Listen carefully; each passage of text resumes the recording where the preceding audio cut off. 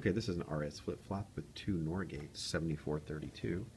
And when you put those into the breadboard, you can use two switches right here, switch 1 and switch 2, for S and R. So this is set and reset.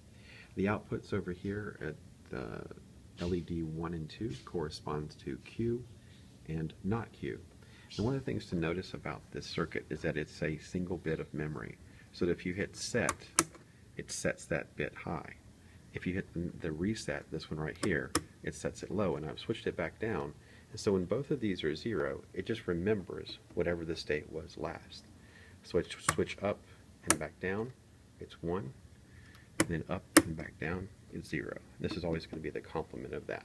So when this is in the down state, it's remembering what the last state was.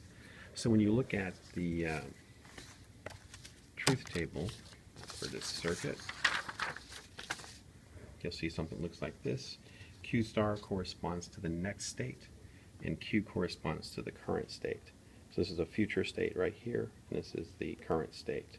So it's these two right here, which says if set and reset are down or off, then it remembers what it was last.